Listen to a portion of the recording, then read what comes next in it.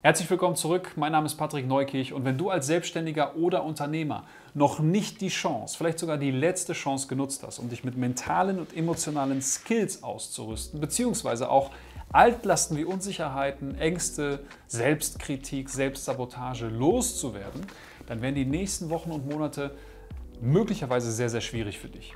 Ich möchte dir natürlich drei Mindsets bzw. Schlüsselgedanken mitgeben und damit auch ein Fundament, damit du durch die nächsten Wochen kommst.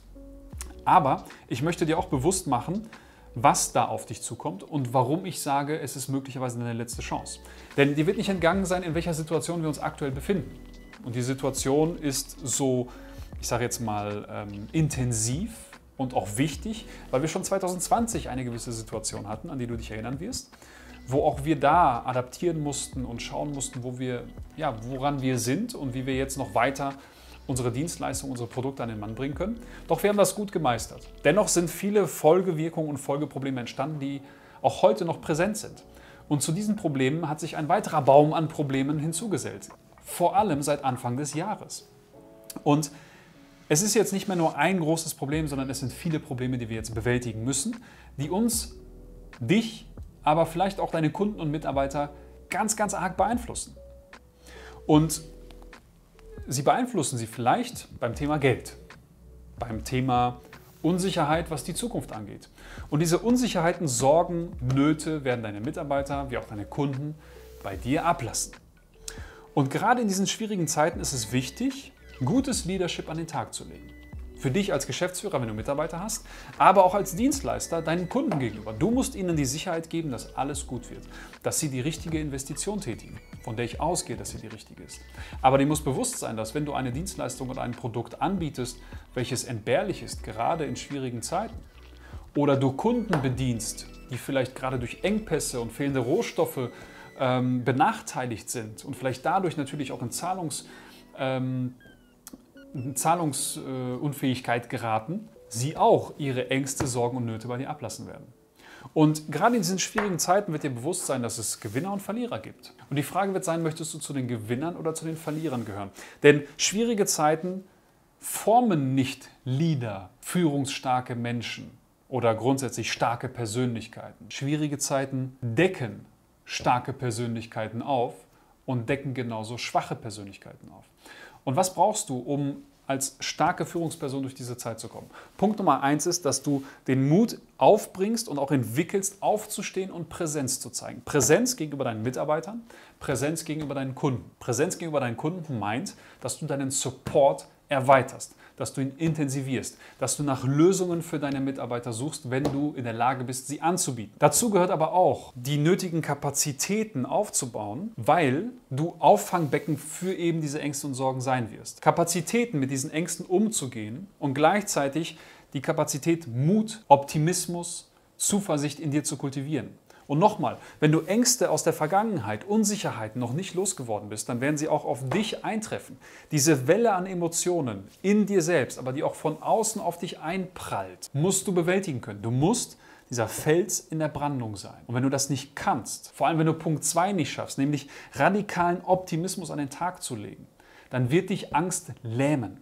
Angst lähmt nicht nur, Angst verengt deinen Blickwinkel. Alles sieht eindimensional aus. Du bist wie diese Gazelle in der Steppe, wo alles wie ein Löwe aussieht, was sich gerade eben kurz bewegt hat. Du wirst also dich nicht darauf konzentrieren können, in einen kreativen Schaffungsprozess zu kommen, zu adaptieren, agil zu sein, zu antizipieren, sondern du wirst ständig auf der Hut vor dem Löwen sein.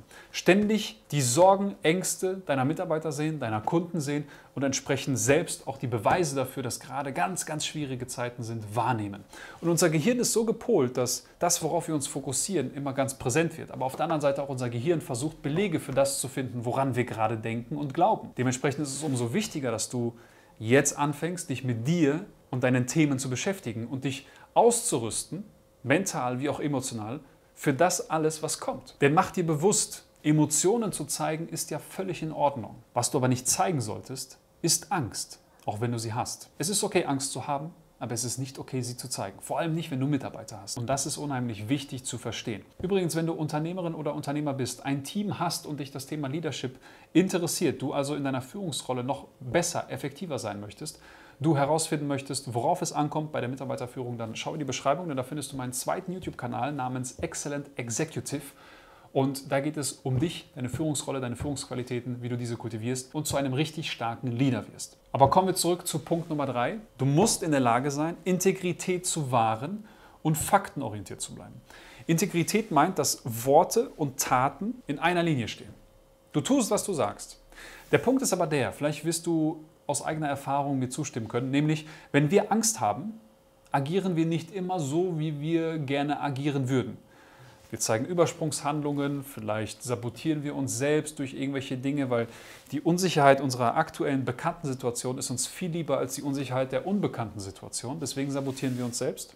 Prokrastinieren, schaffen Konflikte, die vorher gar nicht da waren. Wir lassen das Ego übernehmen und tun Dinge, für die wir uns später tatsächlich ärgern. Faktenorientierung ist auch schwierig, wenn wir Ängste haben, weil, wie gerade eben erwähnt, entsteht eine sehr eindimensionale Welt. Und das Einzige, worauf du achtest, ist der Löwe und nicht mehr darauf, ob das, was du da siehst, auch wirklich objektiv und eine realistische Darstellung der Wirklichkeit ist. Und das ist unheimlich wichtig. Du musst kreative Schöpfungs- und Schaffungsprozesse ermöglichen, für dich selbst, aber auch für dein Team. Du musst antizipieren können, adaptieren können, agil sein. Du musst vor allem alles als Möglichkeit und Chance sehen. Das kannst du aber nicht, wenn du von Angst geprägt bist. Und wenn du diese drei Punkte beachtest, und versuchst, dich in diese Rolle hineinzubringen, hineinzuwachsen und dich sicher in dieser Rolle zu fühlen, dann hast du jetzt noch die Gelegenheit und auch noch genügend Zeit, um dich vorzubereiten, dein Team vorzubereiten, dein Unternehmen vorzubereiten. Aber wisse, dass Altlasten unbedingt aus der Welt geschaffen werden müssen, damit Platz ist für Neues, damit du die nötigen Werkzeuge aufnehmen, aber auch die Nutzung dieser Werkzeuge erlernen kannst, um nicht erst in sechs Monaten, wenn dann die Hütte schon brennt, anfangen zu löschen, sondern bereits jetzt Brandschutz um dein Haus herum etablierst. Ich hoffe, das ist ein gutes Beispiel. Klingt irgendwie komisch, aber ich hoffe, du weißt, worauf ich hinaus möchte. Also, wenn du Hilfe dabei benötigst, deine Altlasten loszuwerden, dich darauf vorzubereiten, mentale, emotionale Skills als Werkzeuge zu benutzen und dich vor allem darin zu üben, gerade in stressigen Situationen, in schwierigen Situationen, mit den Ängsten, Sorgen und Nöten anderer umzugehen, gleichzeitig aber auch deinen kreativen Schöpfungsprozess zu behalten. Dann trag dich ein für ein kostenloses Erstgespräch. Du findest den Link in der Beschreibung. Wir helfen dir genau an dieser Stelle erstmal durch eine Analyse deiner aktuellen Situation. Dann aber können wir herausfinden, genau welche Qualitäten du hast. Das Ganze evidenzbasiert durch ein statistisches Verfahren. Und dann helfen wir dir natürlich, all das, was dir im Weg steht, wegzuräumen, sodass du dann wirklich weiter gesund wachsen kannst und sicher durch die nächsten Monate und Jahre kommst. Wenn du Lust drauf hast, dann trag dich ein. Ansonsten freue ich mich über einen Daumen hoch, über ein Abonnement und natürlich auch über Kommentare und wenn du das Video teilst. In diesem Sinne, bis zum nächsten Mal. Dein Patrick. Ciao.